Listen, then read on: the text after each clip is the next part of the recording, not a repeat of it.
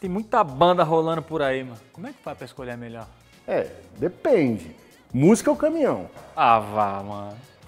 tá bom, mas falando sério, mas banda errada é problemaço, né, cara? Porque pode castigar carcaça, desgastar errado, rodar pouco, consumir mais combustível e no fim das contas aumenta o custo do transporte no final, que é o bolso, né, irmão?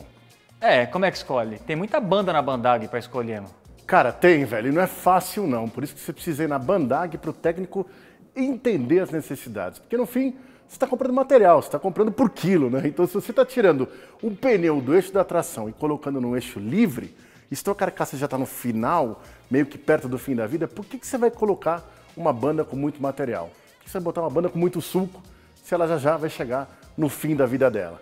A banda tem que tocar conforme a música.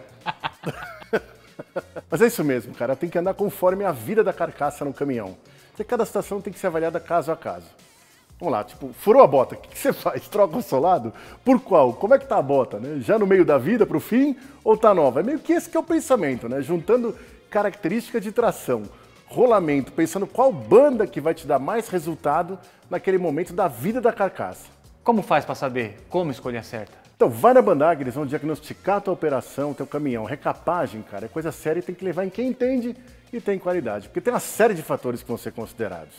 Percurso, tipos de solo, velocidade carga transportada, trechos curtos ou longos, períodos de parada até arrancadas. Né? O que é bom para uma operação rodoviária não necessariamente é bom para quem transporta passageiros na cidade. Sérgio, isso não tem nada de simples. Mano. É coisa demais, viu? Mano? É, não é simples, cara, porque ganhar dinheiro não é simples, né? Tem que ficar de olho nos detalhes. E no site, dá para escolher?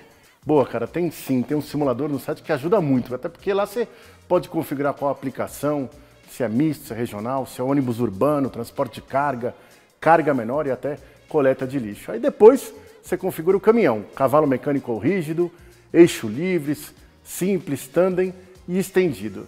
E ele te ajuda a mostrar as opções para o que você está procurando. Mas é claro que nada substitui a conversa com o consultor da Bandag, justamente porque tem outros fatores, como a altura da banda, alinhada com o momento da carcaça no caminhão. Beleza então, Sérgio. Valeu, irmão. Isso aí, meu brother. É nóis, velho. Valeu, mano.